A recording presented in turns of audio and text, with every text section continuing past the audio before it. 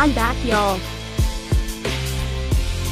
And I'm better than ever. For this year I improved my content with more videos. I'll be doing more doll leaks, doll blow ups, contests and more.